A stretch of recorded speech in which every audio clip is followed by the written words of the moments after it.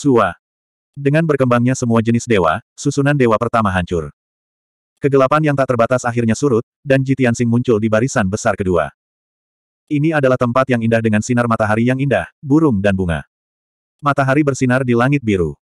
Burung berwarna-warni yang tak terhitung jumlahnya terbang berkelompok. Di bawah tanah ditumbuhi rerumputan dan pepohonan kecil, tak jauh dari situ terdapat pegunungan hijau yang menjulang tinggi dan air hijau. Udaranya segar dan menyenangkan, dan dunia tenang dan damai. Anda hanya bisa mencium wangi tumbuhan dan bunga, serta mendengar suara gemericik air dan burung. Pada pandangan pertama, tampaknya tempat ini sangat kuat dan harus menjadi harta karun untuk budidaya. Namun Jitiansing tahu bahwa ini hanyalah ilusi. Ini adalah adegan yang dibuat oleh Jige Lao dengan susunan ilahi. Jika Anda tidak dapat melihat melalui ini dan dibutakan oleh ilusi, Anda hanya dapat jatuh ke dalam susunan ilahi dan tidak dapat pergi. Oleh karena itu, dia sekali lagi menggunakan metode rahasia murid dewa dan dengan cermat mengamati gunung hijau dan air. Melihat reaksinya seperti itu, di langit biru, terdengar suara Jige Lao. Jige tua menghela nafas dan berkata, anak kecil, meskipun kamu menggunakan teknik membuatku takjub ketika kamu baru saja memecahkan susunan besar pertama. Saya mengagumi keterampilan susunan Anda, pemahaman dan pemikiran tentang susunan tersebut. Tapi Anda telah menghabiskan setengah hari. Anda hanya punya enam jam lagi. Anda tidak dapat memecahkan dua formasi ilahi. Anda ditakdirkan untuk gagal. Faktanya. Jige Lao sangat terkesan dengan pencapaian Jitian Sing. Dia bahkan merasa bahwa pencapaian dan bakat Jitian Sing lebih dalam darinya. Jika memungkinkan, dia juga ingin berkomunikasi dengan Jitian Sing. Namun, dia telah mengatakan sebelum itu batas waktunya adalah satu hari, jadi dia harus menepati janjinya. Sekalipun ada intoleransi dan penyesalan di hati saya, saya tidak bisa bersikap baik kepada Jitian Sing. Oleh karena itu, dia memutuskan bahwa Jitian Sing tidak bisa untuk menemuinya dalam enam jam.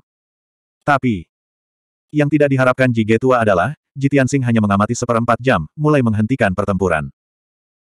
Dia terus berjalan di langit, mata emasnya melihat menembus ilusi, hanya menatap simpul susunan ilahi. Memegang formula ajaib di kedua tangannya, dia terus memainkan cahaya yang menyilaukan dan menuangkannya ke langit dan bumi di sekitarnya. Melihat pemandangan ini, lelaki tua Jige terdiam sejenak, dan menghela nafas lagi, anak kecil, sekarang aku tahu bahwa waktu sudah mendesak. Tidak ada gunanya khawatir lagi. Menurut pendapatnya, Jitiansing menghabiskan tiga jam mengamati susunan dewa pertama. Namun, ketika dia memecahkan susunan dewa kedua, dia hanya mengamati selama seperempat jam, dan kemudian dia tidak sabar untuk hancurkan susunannya. Ini terlalu tidak sabar. Saya yakin saya tidak melihat formasi dengan jelas. Namun, hanya dua perempat jam kemudian, Jige Lao kembali terkejut. Klik. Langit biru yang semula tenang, tiba-tiba terbelah. Jitiansing terus-menerus memancarkan cahaya ilahi ke dalam celah. Tiba-tiba, kesenjangan tersebut dengan cepat meluas menjadi kesenjangan yang sangat besar. Setelah beberapa menit, celah tersebut menjadi pusaran besar dan mulai meluas dengan cepat. Langit di sekitarnya, langit dan bumi, pegunungan hijau, dan air hijau semuanya ditelan oleh pusaran tersebut. Jelas sekali, formasi besar kedua juga dipecahkan oleh Jitian Sing. Terlebih lagi, cara dia memecahkan susunan dewa kali ini berbeda dari sebelumnya. Sebelum menghancurkan susunan itu, ia telah hancur total, tetapi sekarang ia secara bertahap menyerang seluruh susunan besar dari titik ke area. Jige tua terkejut dan berseru, ini. Kamu dapat menghancurkan susunanku dalam waktu sesingkat itu hanya dengan pengamatan umum. Ini luar biasa. Bagaimana kamu melakukannya? Jitiansing berhenti merapal mantra dan membiarkan pusaran air hitam besar melahapnya. Pegunungan dan perairan hijau yang tersisa. Dia tampak tenang dan menjawab, lebih tua, meskipun Anda yang mengatur susunan tiga dewa, susunan besar ini semuanya ada di tangan Anda. Bahkan jika Anda menambahkan beberapa keterampilan dan teknik baru ke setiap susunan, ide utama dari susunan-susunan tetap tidak berubah. Saat mengamati susunan dewa yang pertama, saya telah melihat ide Anda untuk mengatur susunan itu begitu lama. Oleh karena itu, ketika kita memecahkan susunan ketuhanan kedua, kita akan dapat menyelesaikannya. Dengan jatuhnya suaranya, pegunungan hijau dan perairan menghilang sepenuhnya, dan susunan dewa kedua juga diumumkan untuk dipatahkan. Jige tua penuh kekhawatiran, terdiam untuk waktu yang lama, sebelum nada serius keluar dari tiga kata. Luar biasa. Kilatan cahaya. Jitiansing muncul dalam susunan dewa ketiga. Ini adalah laut biru tak berujung, arus bawah bergelombang, ombak besar. Langit mendung dan abu-abu, dan ada awan timah yang luas. Laut mengaum dan mengaum, melepaskan kekuatannya yang dahsyat. Selain itu, tidak ada apa pun di ruang ini. Jitiansing mengamati selama seperempat jam dan mulai menghentikan pertempuran. Sebelum dia mengatakan alasan dan kebenarannya, maka Jige Lao tetap diam dan tidak berkata apa-apa. Tentu saja. Jige hati tua sudah punya jawabannya, tebak juga hasilnya. Tentu saja. Jitiansing menggunakan waktu seperempat jam untuk memecahkan susunannya. Ini masih merupakan metode memecah arai dengan titik dan area. Retakan pertama kali muncul di langit kelabu, lalu berkembang menjadi celah dan pusaran, melahap langit dan laut dengan ganas. Dalam seperempat jam, langit dan laut menghilang. Palankes ketiga juga runtuh. Sua. Dengan kilatan cahaya, Jitiansing muncul di ruang gelap. Ruangan itu luas dan gelap. Hanya area tengahnya saja, luasnya 100 meter persegi, titik terangnya terang. Saat kami mendekat, terlihat jelas ada ratusan slip batu giok berwarna-warni, tergantung di kegelapan, memancarkan cahaya pekat. Di bawah banyak slip giok, ada kasur giok ungu, tergantung di kegelapan. Seorang lelaki tua kurus dengan pakaian linen abu-abu sedang duduk di kasur dengan lutut bersilang, dan matanya menatap ke arahnya. Tidak ada keraguan tentang hal itu. Ini adalah lantai tiga perpustakaan. Ini bukan aula, dan tidak ada rak buku untuk buku. Itu hanya ruang gelap, seseorang, seratus batu giok tergelincir. Sederhana hingga ekstrim. Tapi ini sangat misterius dan tersembunyi. Jitiansing melangkah melewati kegelapan dan berjalan menuju area terang, dan matanya tertuju pada lelaki tua berbaju abu-abu itu. Saya sudah bertemu Tuan Ji. Jige tua mengangguk sedikit dan berkata dengan wajah ramah, anak kecil, kamu benar-benar membuka mataku hari ini. Di Kekaisaran Dayan, kamu adalah orang pertama yang layak menyandang nama itu. Iya. Keadaan kekuatan Jige Lao telah mencapai puncaknya namun, selama sepuluh ribu tahun, dia gagal mengambil langkah terakhir, dan dia tidak mampu menerobos alam dewa. Oleh karena itu, dia hanya bisa memikirkan metode lain, berkonsentrasi pada studi susunan, berharap untuk temukan kesempatan untuk menerobos Raja Dewa. Di Kekaisaran Dayan, jika dia menempati peringkat kedua dalam susunan pencapaian, maka tidak ada yang berani menjadi yang pertama. Namun, Jitiansing memecahkan tiga formasi dewa yang paling dibanggakannya hanya dalam tujuh jam. Selain itu, Ji Tianxing juga menggunakan metode berbeda untuk memecahkan susunan, menunjukkan bakatnya yang menakutkan. Pada saat yang sama, saya tidak bisa tidak mengagumi pavilion lama. Dia bahkan berpikir jika dia memiliki bakat jahat seperti Ji Tianxing, dia akan menerobos kerajaan Tuhan 10.000 tahun yang lalu. 3212 Ujian Jige Lao tentu saja tulus. Ji Tianxing mendengarkan di telinga, tidak sengaja merendahkan apa pun. Bagaimanapun juga, Jige Lao mengatakan yang sebenarnya. Pencapaian Jige Lao memang pantas didapatkan di Kekaisaran Dayan. Hanya ketika kita mengetahui situasi di luar Hautian dan siapa penguasa tiga benua lainnya, kita dapat menentukan apakah kesimpulannya benar. Hasilnya, Ji mencari lebih banyak slip giok untuk menemukan petunjuk. Dia ingin tahu apa yang terjadi dengan tiga benua lainnya. Apa pola keseluruhan dunia ilahi? Siapa tuannya? Siapakah yang masih hidup di antara lima dewa tertinggi itu? 3213. Waktu berlalu. Jitiansing menempatkan dirinya dalam kehampaan yang gelap, berkonsentrasi pada slip giok. Jige tetap diam dan menatapnya dengan sabar. Melihat ekspresi serius dan bermartabat Jitiansing, hati lama Jige juga dipenuhi keraguan. Apa sebenarnya yang ingin diselidiki anak ini? Dia memiliki akses ke begitu banyak informasi rahasia sehingga dia mengetahui rahasia kekaisaran. Tapi sepertinya dia tidak tertarik dengan rahasia Empire. Sebaliknya, dia lebih memperhatikan anekdot dan legenda ilusi. Ada ratusan slip giok di sini, yang pada dasarnya dilihat oleh Ji Gelao. Tentu saja, dia tahu informasi apa yang tercatat di slip giok itu. Sebelumnya, dia sedikit khawatir Ji Tianxing mengetahui terlalu banyak rahasia kekaisaran, yang akan membahayakan kekaisaran. Namun Ji Tianxing meyakinkannya bahwa dia tidak akan pernah kembali setelah meninggalkan kota kekaisaran, jadi dia sangat lega. Hari ini, ketika Ji Tianxing melihat informasi di slip giok, dia jelas tidak begitu tertarik pada rahasia kekaisaran Dayan. Hal ini membuat Jige Lau diam-diam menghela nafas lega, tetapi juga menimbulkan keraguan. Jadi, ketika Ji Tianxing mencari 76 keping batu giok, lelaki tua Jige tidak dapat menahan diri untuk bertanya, Nak, apa yang kamu cari? Ji Tianxing kembali menatapnya dan berkata, tidak ada. Beberapa berita tidak terlalu penting bagi kekaisaran. Jige tua mengerutkan kening dan berkata, di slip giok yang Anda periksa sebelumnya, semua catatan adalah rahasia kekaisaran. Anda sepertinya tidak peduli. 20 slip batu giok yang tersisa mencatat beberapa anekdot, berita, dan rahasia yang tidak ada hubungannya dengan kekaisaran. Apakah Anda yakin ingin melanjutkan pencarian? Saya telah melihat slip giok itu dan mengingat isinya. Kenapa kamu tidak bertanya langsung padaku? Ji. Tianxing mengangkat alisnya dan sedikit mengangguk, ini sangat bagus. Ini dapat menghemat waktu. Bisakah Anda memberitahu saya apa pergolakan besar seribu tahun yang lalu? Jige tua mengerutkan kening dan tiba-tiba menyadari, jadi apa yang ingin Anda selidiki adalah masalah ini. Tepat. Jitiansing mengangguk dan bertanya, sepertinya Jige Lao tahu sesuatu. Jige tua mengangguk sedikit dan berkata dengan nada tenang, meskipun saya bukan orang yang banyak membaca, saya telah membaca semua slip giok di sini.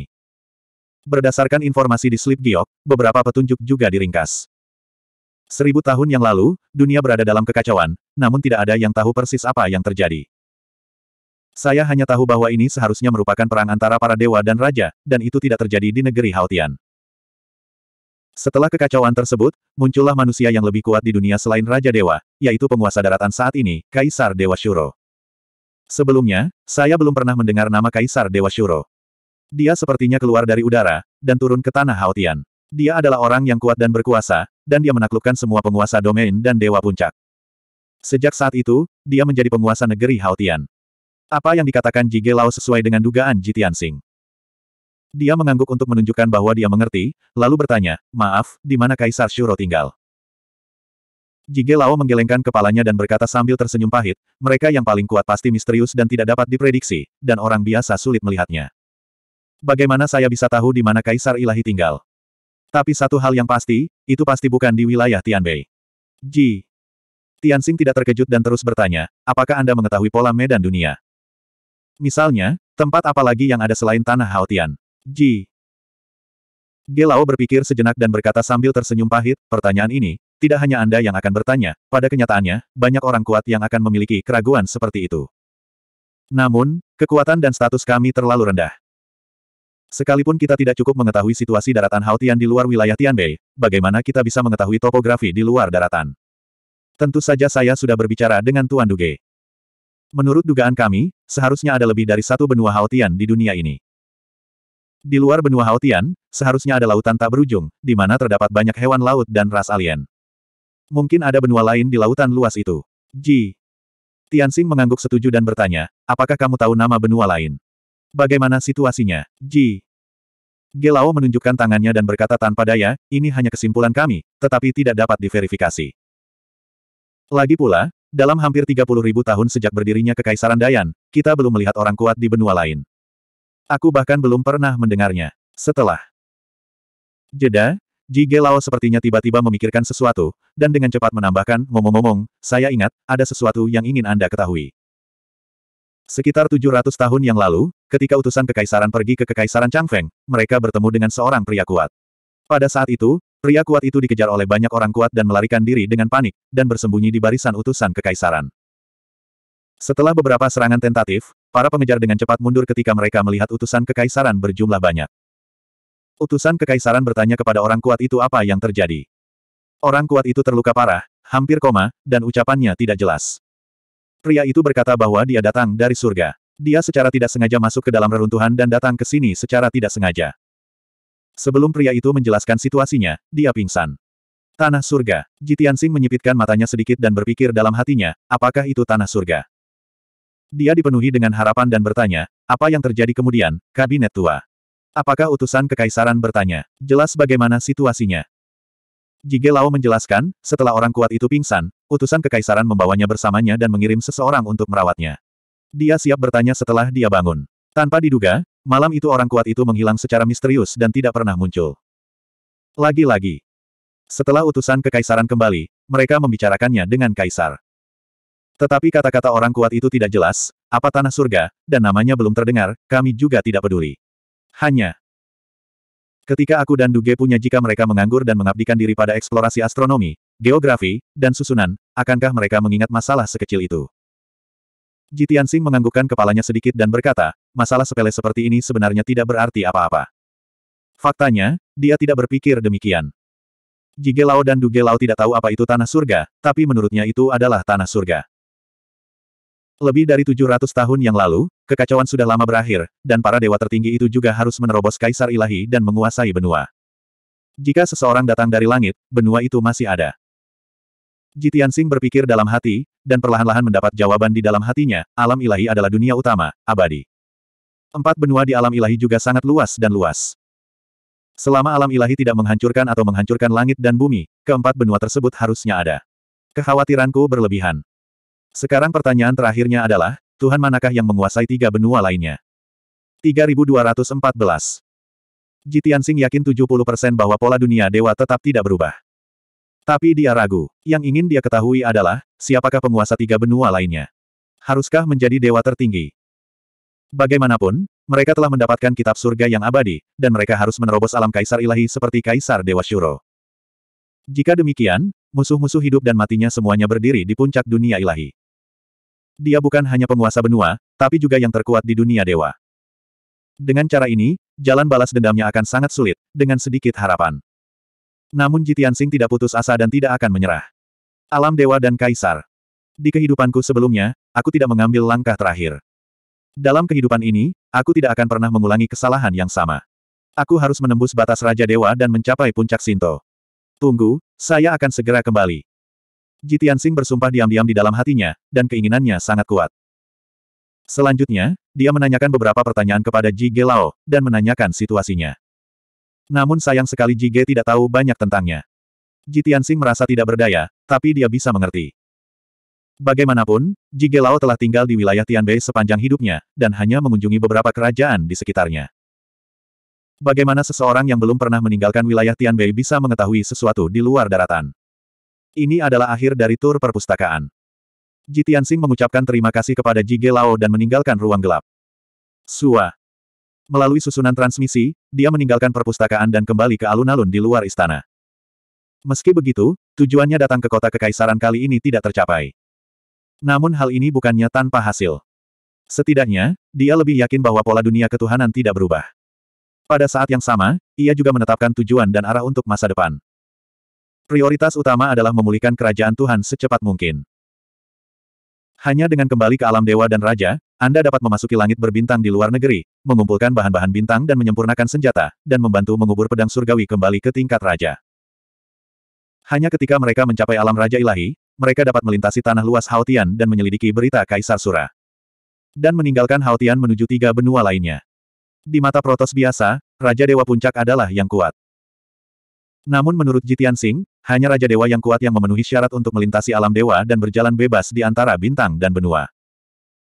Heian Dutong telah berjaga di luar perpustakaan, menunggu hasilnya dalam diam. Selama tiga hari penuh, dia berada dalam bentuk gumpalan kabut hitam, diam-diam melayang di udara. Dia siap untuk tinggal untuk waktu yang lama. Ketika dia ingin datang, keempat tetua dengan sengaja membuat masalah untuk Jitian Sing, yang pasti akan memakan waktu lama. Tetapi pada saat ini, di depan kilatan dewa di udara, Jitian Sing tiba-tiba muncul. Peradangan hitam Dutong Leng sesaat, langsung keluar dari ide. Anak laki-laki itu keluar begitu cepat. Saya selalu berpikir dia tak terduga dan kuat, tapi saya tidak menyangka dia hanya memiliki kemampuan ini. Saya keluar hanya dalam tiga hari. Saya yakin saya tidak lulus ujian. Empat tetua. Meskipun dia berpikir begitu, dia tidak muncul dan tidak bisa menanyakan hasilnya pada Jitian Sing. Ia tak lupa memikul tugasnya, pertama kali mengirimkan pesan untuk melaporkan hasilnya kepada Yan Yongning. Yan Yongning sedang beristirahat di kediamannya, menerima laporan dari Gubernur Peradangan Hitam, dan bergegas datang. Sua. Kilatan emas. Yan Yongning muncul di alun-alun di luar aula, berdiri di depan Jitian Sing. Dia memandang Jitian Sing sambil tersenyum dan bertanya, ini baru tiga hari, bagaimana kamu keluar? Dia tidak mengatakannya dengan jelas, tapi maksudnya jelas. Jitian Sing jelas gagal lulus ujian empat menteri senior, dan dia meninggalkan perpustakaan dengan kepala abu-abu dan wajah abu-abu. Melihat ekspresi Yan Yongning, apakah Jitian Sing tidak dapat memahami pikirannya? Apakah kamu ingin melihat lelucon Benjun? Dia mengangkat alisnya dan bertanya dengan sikap tidak senang. Melihat reaksinya seperti ini, Yan Yongning memiliki kepercayaan diri 80% di dalam hatinya dan mencibir. Namun dia menolak untuk mengakuinya di permukaan dan berkata sambil tersenyum, saya bukan orang seperti itu. Saya tahu bahwa keempat menteri senior itu sangat baik. Wajar jika Anda gagal dalam ujian. Jangan depresi. Yan Yongning berpura-pura menghibur Ji Tianxing, tapi hatinya bahagia. Bagaimanapun, sejak berhubungan dengan Ji Tianxing, dia selalu merasa diremehkan dan ditekan, dan hatinya cukup tertekan. Senang sekali melihat Jitian Sing makan datar. Tanpa diduga, tanpa menunggu dia selesai, Jitian Sing berkata tanpa ekspresi, yang terkuat di kekaisaran saat ini adalah Yan Tiangang, kaisar kelima. Ia lahir 23.000 tahun yang lalu dan dikenal sebagai leluhur. Di sebelah Yan Tiangang.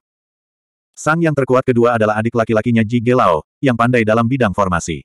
Dia telah bekerja keras selama ribuan tahun untuk menemukan cara baru untuk menerobos alam dewa dengan bantuan jalur formasi. Mendengar ini, dia tersenyum.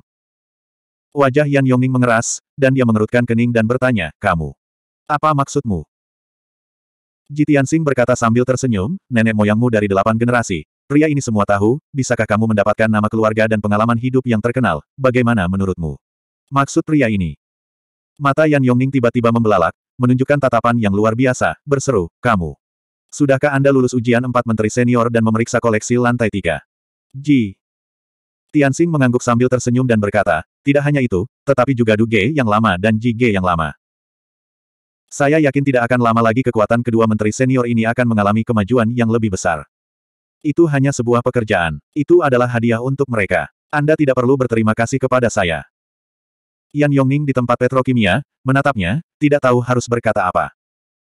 Jauh di lubuk hatinya, dia sama sekali tidak percaya dan tidak bisa menerima hasilnya. Tapi alasan memberitahunya, apa yang dikatakan Jitian Sing itu benar. Ketika dia sadar kembali, sebuah ide muncul di benaknya. Sudah berakhir, bocah ini telah memeriksa semua buku di perpustakaan. Aku khawatir dia tahu lebih banyak tentang situasi dan rahasia kerajaan Dayan daripada aku. Dengan sifat pemberontaknya, dia tidak akan tunduk padaku. Jika aku membiarkannya pergi, dia akan menjadi sangat berbahaya. Dia bisa menjadi pisau tajam bagi kekaisaran kapan saja. Apa yang harus dilakukan? Lakukan yang terbaik untuk menjaganya. Jaga agar tetap terkendali. Wajah Yan Yongning menjadi sangat bermartabat dan ragu-ragu dan membebani dirinya jantung. Saat ini, Jitian Sing keluar. Saat lewat, dia berkata kepadanya sambil tersenyum, hari ini, Ben Jun tahu lebih banyak tentang kekaisaran daripada kamu. Kamu pasti mengkhawatirkannya. Apakah kamu ingin Mengumpulkan semua orang kuat di kota kekaisaran dan membunuhku di sini. Atau maukah kamu menangkap segelnya dan mengendalikannya dengan kuat? Tubuh Yan Yongning bergetar, wajahnya menjadi sangat jelek, dan sarafnya tegang. Ji Tianxing melewatinya dan berjalan menuju kejauhan. Dia berkata sambil tersenyum ringan, jangan curiga. Saya tidak peduli dengan properti kekaisaran. Selain itu, saya meninggalkan kota kekaisaran hari ini dan tidak akan kembali. Tak lama lagi, saya akan meninggalkan kekaisaran, dan kemudian kamu tidak perlu khawatir. 3215. Jitiansing meninggalkan perpustakaan dan menghilang di ujung alun-alun. Yan Yongning berdiri di tempat yang sama, penampilan dan suasana hatinya sangat kompleks. Setelah mendengarkan kata-kata Jitiansing, hatinya merasa lega dan tenang. Tapi kemudian, setelah reaksinya, dia diliputi amarah dan rasa terhina. Akibatnya, dia sangat marah hingga dia bersumpah, brengsek. Bajingan sialan, beraninya kamu begitu sombong padaku. Kamu benar-benar pengganggu, dasar bocah pelanggar hukum. Saat ini, dia sangat merasakan arogansi dan arogansi Jitiansing. Dan ketika Jitiansing mengucapkan kata-kata itu, dia menunduk pada mata dan postur tubuhnya. Semua ini menusuk jantungnya seperti pisau tajam, yang membuatnya merasa terhina dan marah. Dia tidak pernah begitu dibenci dan dihina sejak dia masih kecil. Yan Yongning sangat marah hingga dia mengatupkan giginya dan mengepalkan tinjunya. Untuk sesaat, dia ingin bertindak impulsif dan memanggil semua orang kuat di kota kekaisaran untuk membunuh Jitiansing di kota kekaisaran. Tetapi, ketika dia berbalik, Jitiansing sudah pergi dan sosoknya menghilang di kejauhan. Dia segera tenang kembali, menarik napas dalam-dalam dan meredam amarahnya. Hanya saja, anak laki-laki itu selalu seperti ini, kalau tidak, dia tidak akan menimbulkan masalah besar ke mana pun dia pergi. Aku murah hati, aku terlalu malas untuk berdebat dengannya, dan aku tidak ingin melihatnya dalam keadaan yang sama. Jalan. Yan Yongning menggumamkan beberapa kata pada dirinya sendiri, dan secara bertahap menghilangkan kemarahan di hatinya. Jitiansing meninggalkan istana, terus ke selatan, dan segera meninggalkan kota kekaisaran. Padahal, tiga hari lalu, dia membuat onar di bawah gerbang. Namun kini, badai sudah lama berlalu, dan segalanya sudah tenang. Bahkan dia keluar kota dengan lancar. Penjaga yang menjaga gerbang kota mengenalinya dan langsung melepaskannya. Tujuan datang ke kota kekaisaran kali ini juga tercapai. Dia meninggalkan kota kekaisaran dan tidak akan kembali tanpa alasan khusus. Menghadapi matahari terbenam, dia terbang ke langit dan mengorbankan kapal perangnya ke barat laut. Di dalam fregat, di kokpit. Jitiansing berdiri dengan tangan ke bawah dan memandang langit di luar kapal Senjian, berpikir dalam diam. Lin Sue bertanya sambil mengemudikan kapal dewa, kali ini ke kota kekaisaran, keinginanmu terkabul. Jitiansing mengangguk dan berkata, iya. Lin Sue mengerutkan kening dan berpikir sejenak, lalu bertanya, ke mana kita akan pergi selanjutnya? Apakah kamu ingin membalaskan dendam Pangeran Lian? Jitiansing mengangguk lagi dan menjelaskan, di barat laut Kekaisaran Dayan, ayo pergi dan lihat Istana Giok. Hal berikutnya adalah menemukan balas dendam Pangeran Lian. Hal utama adalah mengunjungi kediaman orang tua itu dan mengambil beberapa barang di jalan. Lin. Sue mengerutkan kening dan berkata sambil mencibir, lihat kediaman orang tua itu. Ngomong-ngomong, menurutku kamu pria yang tidak tahu malu. Jelas sekali, aku akan menjelajahi istana Giok, dan aku ingin merampok harta karun itu dengan semua kekuatan besar. Bagaimana kamu bisa mengatakannya dari mulutmu dan mengambilnya begitu saja? Dikabulkan. Jitian Sing tidak punya pilihan selain menunjukkan tangannya dan berkata, Raja Dewa Giok dan saya benar-benar teman lama. Haha. Lin Sui kembali dengan mata pucat dan tersenyum mencemooh. Raja Dewa Giok meninggalkan kekaisaran Dayan 10.000 tahun yang lalu dan menghilang. Jangan bilang padaku bahwa kamu dilahirkan 10.000 tahun yang lalu. Jitian Sing tidak bisa berkata-kata. Lin Sueyu semakin bangga, dan berkata dengan terengah-engah, tidak ada yang perlu dikatakan. Apakah kamu ingin membodohi ibuku dengan pikiran kecilmu? Ji Tianxing tidak tahan. Dia berkata dengan marah, konsentrasilah pada pekerjaanmu. Kamu menjadi marah karena kamu kesal, bukan? Lin Sue lebih bangga dengan senyumannya. Pada saat yang sama, perbatasan barat laut kerajaan Dayan adalah tempat rahasia di Lautan Awan. Di kedalaman Lautan Awan yang luas, terdapat sebuah istana besar, transparan dan gelap, yang memancarkan cahaya suci. Ini adalah istana batu giok. Dan di sekitar kuil, masih ada 50 kelompok protos yang kuat. Orang-orang ini tersebar di lautan awan, ratusan orang berkumpul, dilindungi oleh perisai cahaya warna-warni. Pada saat ini, He Tianzong terletak di perisai cahaya berwarna-warni. Ratusan murid elit berjaga di sekitar perisai cahaya. Di tengah perisai cahaya warna-warni, ada lebih dari selusin rumah dan istana sementara tempat tinggal Diaken, Penatua, dan orang kuat He Tianzong. Di istana yang megah, Pangeran Lian, mengenakan jubah naga emas hitam, sedang duduk di ruang kerjanya, diam-diam melatih kekuatan dan pernapasannya. Di saat yang sama, dia sepertinya sedang menunggu sesuatu. Segera, sosok hitam dengan cepat masuk ke ruang kerja, datang ke meja, dan membungkuk kepada Pangeran Lian. Bawahanku Lian San, temui Tuhan. Pangeran Lian, yang sedang bermeditasi dan bernapas, segera membuka matanya, dan matanya tertuju pada Lian San. Dia bertanya dengan suara bermartabat, apa hasil pertanyaanmu? Lian San melaporkan, laporkan kepada Tuhan, semuanya seperti yang diharapkan. Binatang buas Tianxing tidak mengejar kita di sini, tetapi pergi ke kota kekaisaran. Kami tinggal di Ailiner kota kekaisaran dan baru saja membalas berita bahwa hari telah memasuki hari kota kekaisaran dan bentrokan dengan penjaga kota. Tianxing sangat kejam. Dia melukai hampir seratus penjaga kota di depan umum. Setelah itu, para penjaga secara pribadi menangani masalah ini dan membawa Tianxing ke istana. Ailiner melaporkan bahwa langit sepertinya telah melihat kaisar, dan tidak tahu apa yang mereka bicarakan dan kesepakatan apa yang telah dicapai. Setelah tiga hari di istana, Lian San memberikan penjelasan rinci tentang apa yang terjadi di kota kekaisaran. Namun kesepakatan antara Jitiansing dan Yan Yongning, serta masuknya dia ke perpustakaan, tidak diketahui. Pangeran Lian segera mengerutkan kening dan bertanya dengan muram, ke arah mana hewan itu meninggalkan kota kekaisaran. Bahkan melihat tiga kali, dan berkata dengan kepala rendah, kami tetap berada di Ailiner kota kekaisaran. Kekuatannya jauh lebih lemah daripada kekuatan cakrawala. Namun arah keberangkatan Tianxing bukan ke selatan, melainkan ke barat laut. Ke arah barat laut, bahkan alis sang pangeran terkunci, dan warna bermartabat muncul di matanya. Jadi dia datang ke tempat rahasia lautan awan. Bahkan tiga orang tidak tahu jawaban pastinya, tapi tidak berani berspekulasi, tentu saja tidak berani menjawab. Bahkan sang pangeran tampak murung, berpikir dan bergumam pada dirinya sendiri, binatang sialan. Dia tidak bisa mengejar raja dan tidak tahu ke mana dia pergi, jadi dia pergi ke kota kekaisaran untuk mencari Yan Yongning. Yan Yongning bajingan itu, berharap raja ini mati lebih awal, tentu saja, akan mengatakan yang sebenarnya. Keduanya ingin menyingkirkan raja ini.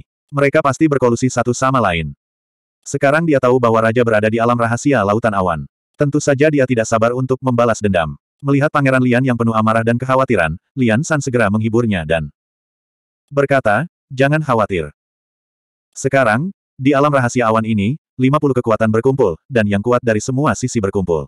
Bagaimana anak itu bisa sombong? Jika dia benar-benar datang ke sini, dia akan menjadi sasaran kritik publik, dan tidak akan ada tempat untuk mati. Pangeran. Lian mengangguk sambil berpikir dan berkata sambil mencibir, meskipun, hanya mengandalkan raja dan orang-orang yang tinggal di surga, kita mungkin tidak dapat menghentikannya. Tapi 50 kekuatan ini ada di sini, hampir mengumpulkan puncak kekaisaran. Bahkan jika dia memiliki kemampuan yang hebat, dia akan dikepung oleh banyak orang kuat dan mati dengan kebencian. 3216 Dari kota kekaisaran hingga perbatasan barat laut, jaraknya 100 juta mil.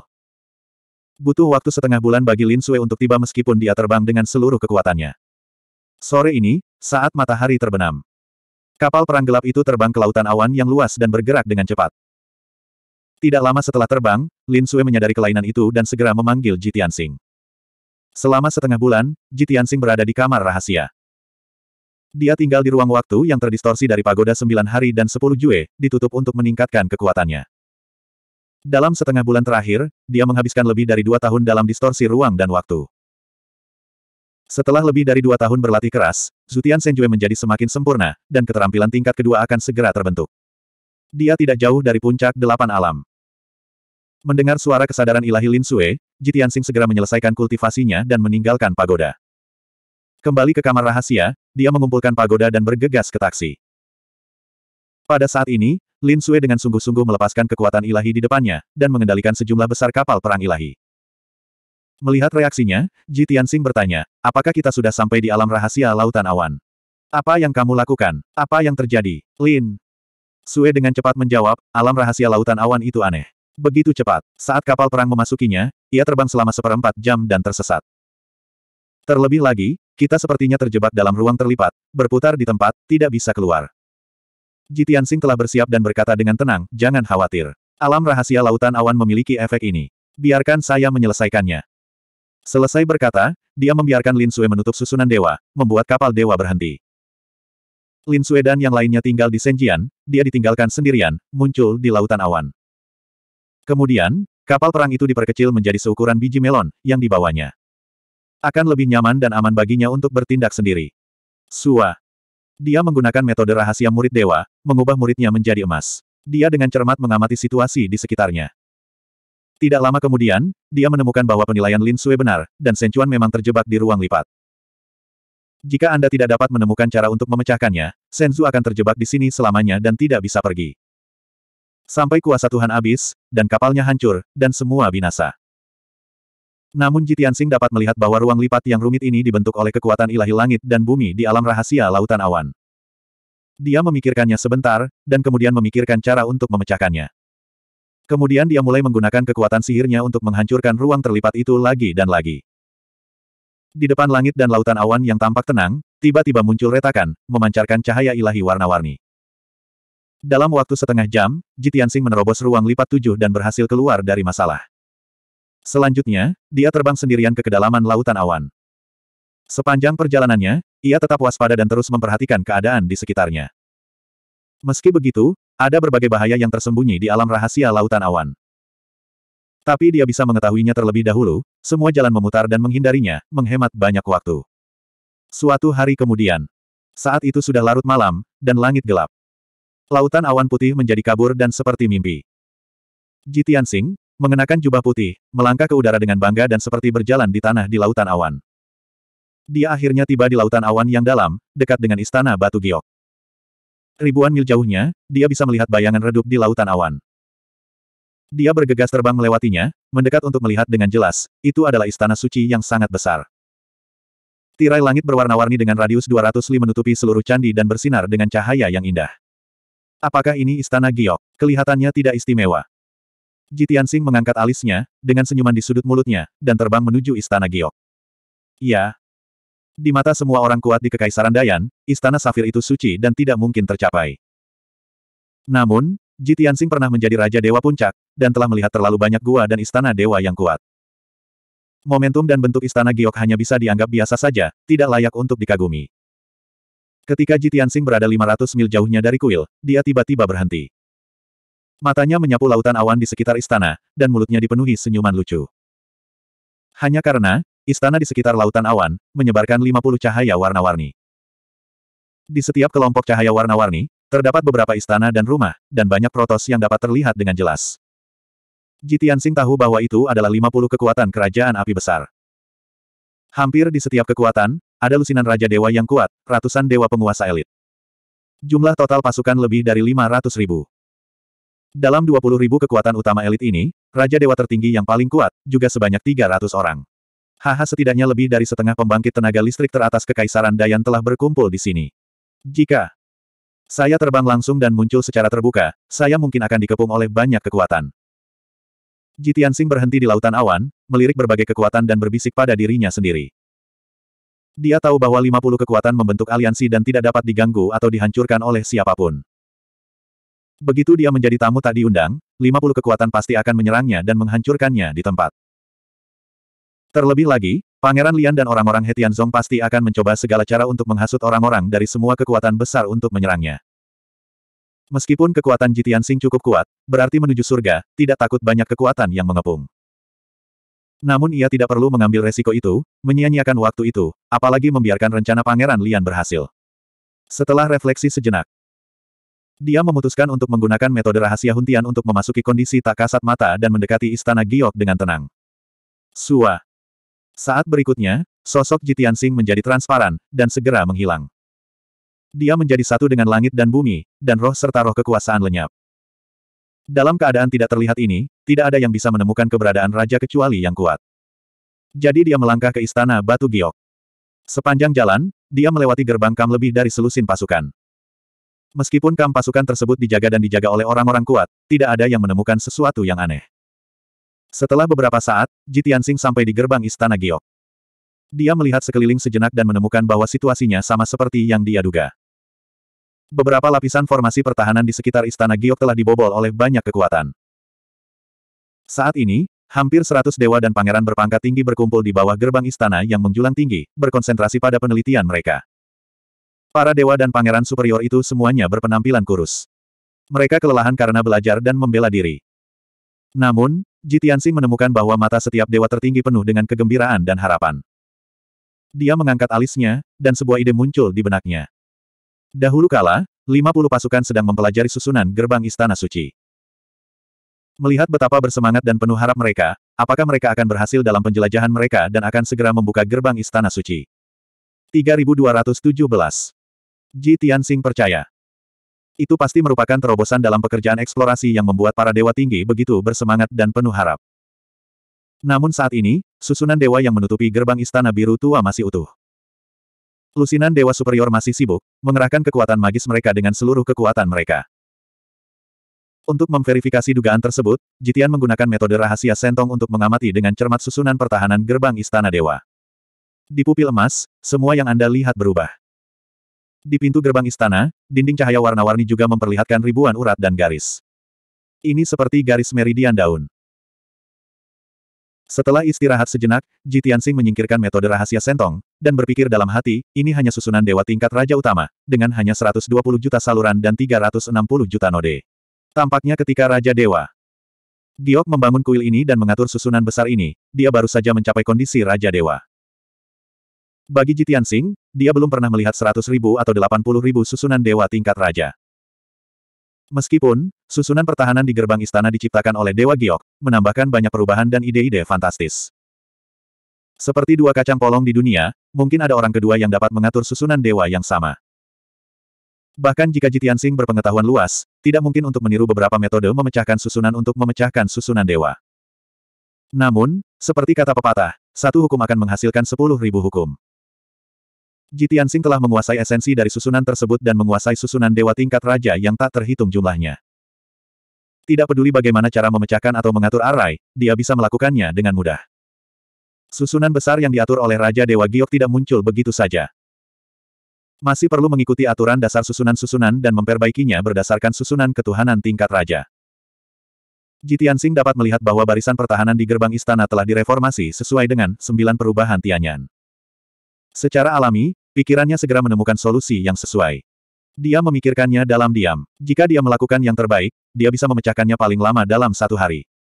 Jangan katakan itu benar-benar retak. Setidaknya, tidak apa-apa untuk membuka celah dan membiarkan dia keluar masuk dengan bebas.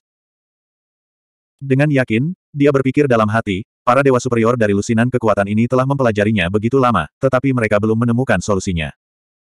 Dalam jangka pendek, mereka seharusnya tidak mampu memecahkan susunan besar ini.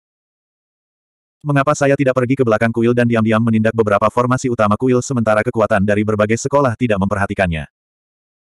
Pada saat itu, sebelum mereka dapat memecahkan susunan gerbang istana, saya akan menjadi orang pertama yang memasuki istana. Jitiansing merasa ide itu layak dilakukan, jadi dia bersiap untuk pergi dengan diam-diam dan pergi ke belakang. Kuil. Tapi saat itu, gerbang istana biru tua, bagian dari dinding cahaya warna-warni, tiba-tiba memancarkan cahaya ilahi yang indah. Sua, sua sua. Seperti kembang api yang mekar, cahaya yang menyilaukan, menghilangkan kegelapan ribuan mil. Fluktuasi kekuatan ilahi yang kuat dan kuat juga dilepaskan dari gerbang istana dan menyebar ke segala arah. Kerumunan di bawah gerbang istana juga melontarkan sorakan kejutan. Hahaha hebat. Akhirnya kita berhasil. Itu tidak mudah. Upaya telaten setiap orang tidak sia-sia. Tidak ada yang sulit di dunia ini. Kami hanya takut pada mereka yang punya pikiran. Kami bangga pada diri kami sendiri. Istana Giok, inilah kami. Banyak dewa dan pangeran berpangkat tinggi dan bermartabat bersorak kegirangan dan tertawa terbahak-bahak. Mereka melepaskan kegembiraan di hati mereka, bahagia seperti anak kecil, tanpa keseriusan dan kesungguhan seperti biasanya. Mendengar sorak-sorai penonton, Jitian Sing, yang hendak berbalik, segera berhenti. Dia berbalik dan melihat ke arah gerbang istana, dan melihat dinding cahaya berwarna-warni telah terbuka. Kemudian, dinding cahaya warna-warni yang besar itu terfragmentasi, memancarkan puluhan ribu keping cahaya ilahi. Hula. Potongan cahaya ilahi yang tak terhitung jumlahnya tersebar di lautan awan. Gerbang istana ilahi kehilangan perlindungan susunannya dan muncul di depan semua orang. Ada beberapa dewa unggul yang tidak sabar untuk menggenggam pengetuk perunggu dan ingin membuka gerbang istana. Padahal, gerbang perunggu yang tingginya puluhan kaki itu beratnya seperti gunung. Namun, Para dewa dan pangeran pada saat yang sama memindahkan gerbang perunggu itu dengan mudah. Ha, klik. Dengan suara tumpul, gerbang perunggu itu bergetar beberapa kali, mengibaskan debu, terbuka ke kedua sisi. Di antara kedua gerbang, ada celah, dan mengembang dengan cepat. Sua. Saat pintu dibuka selebar tiga kaki, kekuatan ilahi warna-warni yang melonjak dan dahsyat menyembur keluar dari kuil dan mengalir ke banyak dewa seperti banjir. Tiba-tiba, para dewa penuh energi, bersinar, dan daya yang dikonsumsi terisi kembali. Semuanya seru kaget dan gembira. Hahaha kami telah dibaptis di kuil. Ini adalah kekuatan yang ditinggalkan oleh Raja Dewa Giok. Setelah saya dibaptis, tampaknya bakat dan kualifikasi saya telah meningkat pesat. Memang benar, itu memang istana Raja para dewa. Sekalipun itu hanya kekuatan sihir, itu adalah kesempatan dan takdir kita. Mendengar teriakan penonton, Jitian Sing tersenyum. Dia tahu bahwa kekuatan itu efektif bagi banyak dewa. Setidaknya dapat mengisi kembali tenaga yang dikonsumsi masyarakat dan membuat mereka energi. Namun, jika kekuatan ilahi hilang, para dewa dan raja akan meningkatkan bakat dan kualifikasi mereka, yang murni merupakan fungsi psikologis. Melihat hal tersebut, para dewa yang gembira masih berusaha mendorong gerbang perunggu tersebut hingga terbuka seluruhnya. Pada saat ini, terdengar suara gemuruh agung dari kerumunan. Hentikan. Bagaikan guntur bagaikan gelombang suara, gempa di sekitar lautan awan berjatuhan. Para dewa tertinggi di lapangan semuanya terdiam seketika. Para dewa yang mendorong gerbang juga mengambil kembali kekuatan mereka. Semua mata tertuju pada seorang lelaki tua bertubuh besar dengan rambut putih dan jubah naga ungu. Lelaki tua dewa pembakaran besar itu berpenampilan sangat tua, namun tubuhnya masih besar dan tinggi. Sepasang mata seperti lonceng tembaga, berkedip dengan cahaya agung yang menakjubkan. Jitiansing memandang orang tua itu dan mengenali identitasnya. Kaisar kelima Kekaisaran Dayan, yang sekarang menduduki peringkat terkuat pertama, dikenal sebagai Yan Tiangang, nenek moyang Dayan. Di perpustakaan kota Kekaisaran sebelumnya, Jitiansing membaca banyak buku dan buku kuno, dan sangat akrab dengan situasi Kekaisaran Dayan. Oleh karena itu, masuk akal baginya untuk mengenali Yan Tiangang. Mata Yan Tiangang tampak agung, dan suaranya sungguh-sungguh, meskipun, kami bekerja sama untuk memecahkan susunan gerbang Istana Suci. Tapi jangan lupa, kami sudah menyetujui aturannya. Sejak lama, Kuil dibuka, semua kekuatan harus bersaing dan bersaing, dan akhirnya memilih seratus orang kuat untuk dijelajahi di istana. Tidak ada yang diizinkan memasuki kuil tanpa izin sebelum kandidat ditentukan, jika tidak, dia akan dibunuh. 3218. Asli. Di bawah gerbang istana, hampir seratus dewa tertinggi bersemangat dan bersemangat. Semua orang sangat gembira, bersorak gembira dan berteriak, tidak sabar untuk segera masuk ke dalam kuil. Tapi kata-kata Yan Tiangang sepertinya menuangkan baskom berisi air dingin untuk semua orang. Tiba-tiba, ada keheningan di bawah gerbang istana, dan semua orang menjadi tenang. Suasana gembira segera mereda, suasana gembira juga menjadi tenang, senyuman di wajah semua orang berangsur-angsur menghilang. Iya. Ketika 50 kekuatan membentuk aliansi, mereka membahas masalah ini berkali-kali. Semua kekuatan ingin memasuki istana untuk mencari warisan dan harta karun Raja Dewa Giok. Tapi itu sangat mustahil. Ada banyak serigala tetapi sedikit daging. Hanya sedikit orang yang bisa memasuki istana Giok. Oleh karena itu, saat itu keluarga kerajaan Dayan dan para petinggi mengajukan proposal. Saat gerbang candi dibuka, 50 pasukan akan bertanding di arena yang adil dan terbuka. Setiap faksi dapat mengirimkan 8 orang kuat, total 400 orang, untuk bersaing. Hanya 100 pemenang yang berhak memasuki istana Giok. Selain itu, 100 teratas juga perlu diberi peringkat. Yang kuat dengan peringkat tertinggi, yang pertama memasuki Istana Giok. Orang dengan peringkat ke-100 adalah orang terakhir yang memasuki kuil. Rencana ini sangat adil dan telah mendapat persetujuan dan pengakuan dari banyak kekuatan. Meskipun, lebih dari separuh kekuatan menentangnya. Namun selain itu, tidak ada yang bisa menawarkan solusi yang lebih adil dan adil. Setelah sekian lama, 50 pasukan harus menyetujui perjanjian ini. Sebelum gerbang candi dibuka, diam-diam semua orang tidak ada yang berinisiatif untuk menyebutkannya. Tapi, hari ini akhirnya tiba. Kelima puluh kekuatan tersebut harus menghadapi kenyataan, mematuhi perjanjian awal, dan memilih yang kuat untuk berpartisipasi dalam kompetisi. Melihat banyak orang kuat terdiam, terlihat bermartabat dan khawatir. Yan Tiangang tampak agung dan berkata dengan nada serius, jika ada banyak kata, saya tidak akan mengatakannya. Aturan sudah ditetapkan di sini. Siapa pun yang tidak mau mematuhinya akan pergi. Kita punya waktu satu jam untuk bersiap. Setelah satu jam, masing-masing pasukan memilih delapan orang kuat untuk berpartisipasi dalam kompetisi yang adil. Tentu saja, tidak masalah jika Anda tidak memiliki delapan orang kuat, dan tidak masalah jika Anda ingin abstain.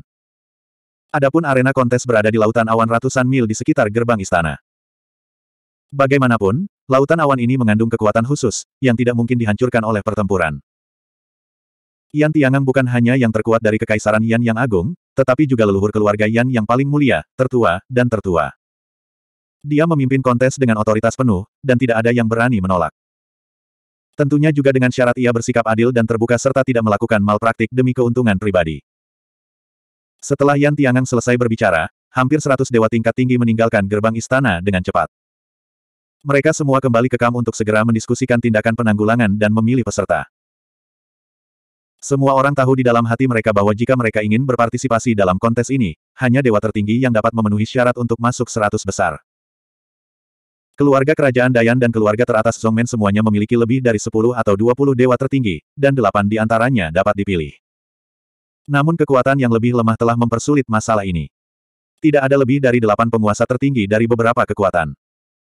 Namun mereka tidak mau menyerah, jadi mereka menambahkan beberapa dewa tengah dan mengumpulkan delapan orang untuk bertarung.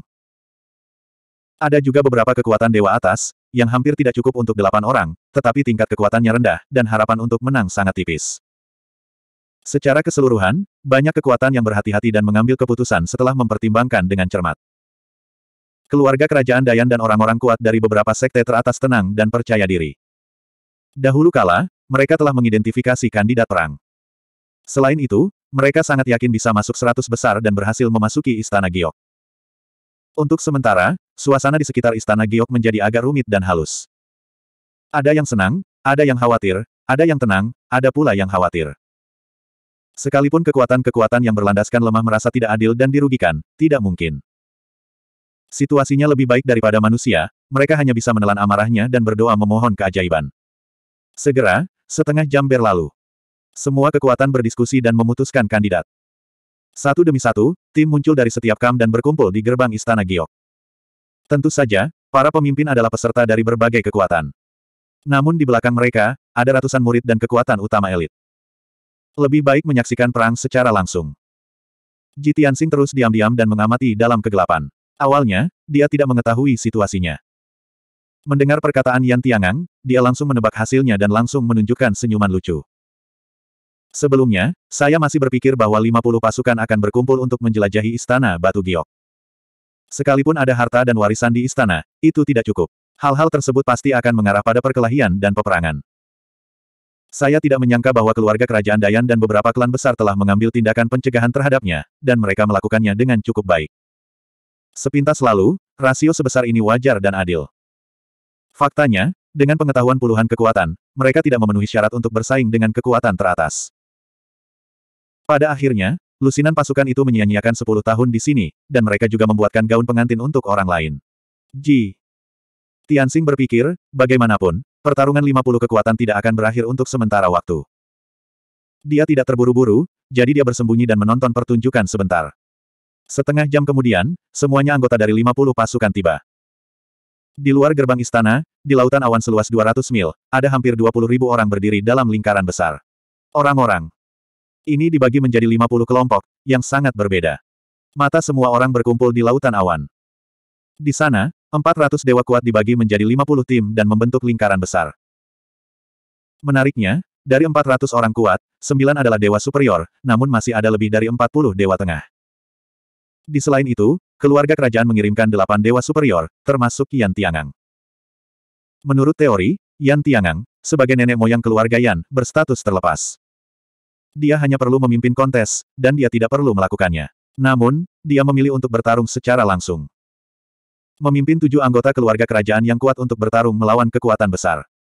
Karena dialah yang paling mendesak dan bersemangat untuk memasuki kuil.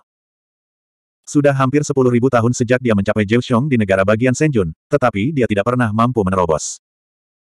Terlalu lama, budidaya dalam pengasingan dan keinginan untuk alam ilahi hampir menjadi siksaan dan kutukan. Dia hidup sampai hari ini dan tinggal di kerajaan besar, yang didukung oleh keyakinan ini. Kapan pun ada sedikit kesempatan untuk maju ke alam ilahi, dia tidak akan melewatkannya. Untuk ini, dia dapat membayar berapapun harganya, bahkan tanpa memandang identitas, martabat, dan wajah. Dia tidak peduli meskipun orang kuat dari semua kekuatan besar diam-diam mengkritik dan mengejeknya. 3219 Fokus kekuatan utama ada pada Yan Tiangang. Banyak orang yang berbicara diam-diam, mengeluh dengan marah. Semua orang tahu bahwa Yan Tiangang adalah orang kuat pertama di kekaisaran. Tidak peduli siapa yang bertemu dengannya, dia tersapu dan hancur. Tapi Yan Tiangang tidak melanggar aturan, tidak ada yang bisa menyalahkannya. Orang-orang kuat dari semua kekuatan besar hanya bisa berdoa agar mereka tidak melawannya. Ji Tianxing, bersembunyi di kegelapan, terus mengamati orang-orang di Hetianzong. Hasilnya seperti yang dia harapkan. Ye Wuji, pemimpin sekte Hetian, pergi bertarung dengan para tetua Taisang dan beberapa tetua untuk menghadapi kekuatan besar. Di antara delapan orang kuat, Jitiansing menemukan sosok yang dikenalnya. Seorang pria muda berjubah naga hitam dan emas, bahkan sang pangeran. Meskipun begitu, Pangeran Lian secara nominal adalah anggota keluarga kerajaan. Tapi semua orang tahu bahwa dia adalah murid dekat Ye Wuji dan murid utama Hetianzong. Dia ikut serta dalam perang atas nama Hetianzong. Jitiansing diam-diam mengamati sejenak dan menemukan bahwa bahkan luka sang pangeran telah pulih dan kekuatannya telah pulih ke puncak. Dia tidak dapat menahan diri untuk berpikir, sejak dia disakiti olehku, dia telah bersembunyi dan berlari. Setelah sekian lama, lukanya akan pulih. Selain itu, dia telah datang ke alam rahasia lautan awan selama lebih dari setengah tahun. Sebulan yang lalu. Ye Wuji pasti akan menemukan cara untuk membantunya pulih dari cedera dan kekuatannya sesegera mungkin. Luka Pangeran Lian sembuh secepat yang diharapkan Ji Tianxing. Sekarang, Pangeran Lian tetap di samping Ye Wuji dan dilindungi oleh orang-orang kuat dari Hetianzong, yang bisa dikatakan sangat aman. Sebelum Ji Tianxing datang ke tempat rahasia Lautan Awan, dia berpikir untuk mencari kesempatan untuk membunuh Pangeran Lian. Tapi sekarang sepertinya dia tidak punya peluang sama sekali. 50 pasukan berkumpul di sini, dan bahkan sang pangeran dilindungi oleh Hetianzong. Begitu saya muncul, saya akan dikepung oleh banyak orang berkuasa. Bukan saja aku tidak bisa membunuh Pangeran Lian, tapi aku juga akan berada dalam bahaya. Biarkan saja Pangeran Lian hidup beberapa hari lagi. Saya harap dia tidak tersingkir dan berhasil memasuki Istana Giok. Jitiansing telah mengambil keputusan dan tidak akan melakukannya untuk saat ini. Tunggu sampai istana, lalu cari kesempatan untuk menyingkirkannya. Pangeran Lian. Setelah beberapa saat, Yan Tiangang mengumumkan dimulainya pertandingan besar. Aturan dabi sederhana dan kasar. Pemungutan suara putaran pertama dilakukan di antara 50 pasukan untuk menentukan kekuatan dalam perang. Kemudian, kedua belah pihak berperang delapan lawan delapan resimen di Lautan Awan. Hal ini terutama untuk menghemat waktu.